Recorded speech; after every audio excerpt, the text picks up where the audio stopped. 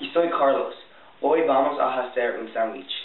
Nos gustan los sándwiches todos los días porque son deliciosos. Estoy de acuerdo. Sí, el sándwich de atún o de carne está ir al bueno. Hoy vamos a hacer el sándwich de los reyes y presentar un examen de comida con Carmen y Berta. Primero tenemos que lavar, lavarnos las manos y sacar todo que necesitamos para cocinar la comida. Go. Nosotros necesitamos la carne, el pollo, el pan, el queso, la lechuga, los tomates, la mayonesa y la mostaza. Go. Ella hace el pan más temprano. Ahora yo tengo que cortarlo. Go. Córtalo en trozos grandes. Yo voy a cortar la carne, el pollo, la lechuga y los tomates. Tengo que cortar todo. Ven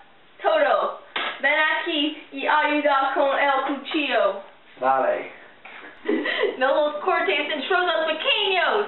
Vale, vale. Córtalo en trozos grandes. Vale, vale. Ahora necesitamos hacer el sándwich de los reyes.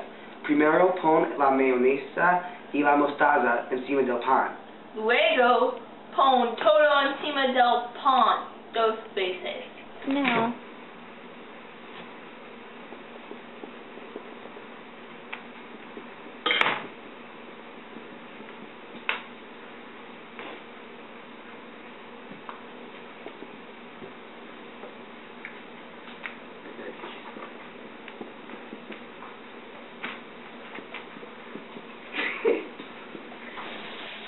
Acabamos, este sándwich es muy delicioso.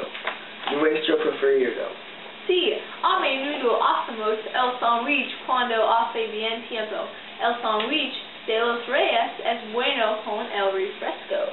Pero también, cuando hace mal tiempo, el sándwich es delicioso con la sopa caliente. Ahora tenemos un examen. Aquí están Berta y Carmen con su la hamburguesa. Necesitamos encontrar que la comida es mejor. Vale, vamos a comer la comida. La hamburguesa es interesante.